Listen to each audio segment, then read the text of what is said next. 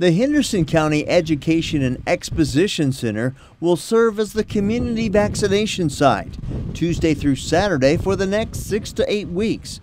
Vaccination stations were set up inside as Kentucky National Guardsmen and active duty servicemen and women from Fort Hood, Texas, will be part of the vaccination center.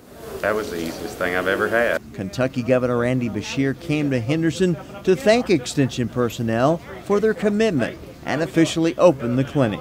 I certainly think that, um, that, that, this will be um, effective, uh, and it will be effective both here and through the, the mobile sites.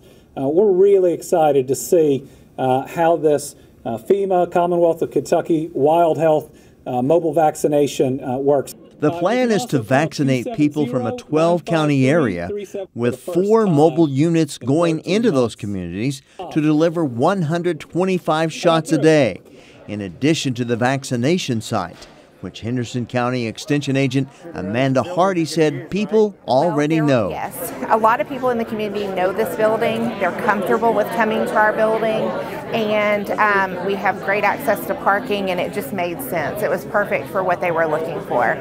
So we were put on a list, and we were at the top of that list. I think it's a big honor for University of Kentucky Cooperative Extension Service to uh, to focus on one of our, our facilities. It is all part of an effort to get as many people vaccinated as possible by taking a proactive approach in Henderson.